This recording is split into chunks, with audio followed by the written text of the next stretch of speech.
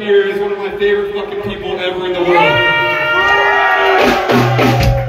This is his last show with us.